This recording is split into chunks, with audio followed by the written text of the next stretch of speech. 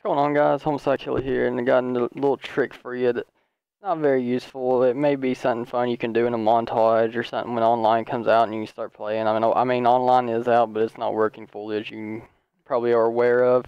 Um, but you just pour some gas and you can ignite it with the fumes of your car or the exhaust of your car, and it'll light the fumes. And uh, pretty neat little trick. Like I said, you can do it for online.